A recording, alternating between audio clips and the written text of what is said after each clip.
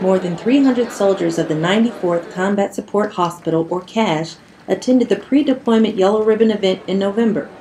They gathered at the Crowne Plaza Hotel in Dallas to prepare for their upcoming deployment. Diana Hudson, Family Readiness Support Assistant for the unit, stresses the importance of soldiers and family attendance. No, no, we just want to encourage all the soldiers to attend the yellow ribbons that are available to them because the resources are immense and they miss out on so much if they don't attend and don't bring their family members to the events. But we, we always welcome any family member to come out with them and uh, be their support mechanism. While they're gone, they need to be trained to be that support mechanism. This training consists of briefings, presentations, and vendor introductions over three days.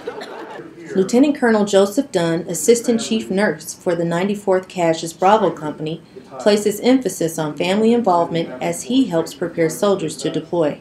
They, they need to know that there's someone they can go to or, or services they, they can take advantage of uh, to help them to help them through the deployment of their, their service member.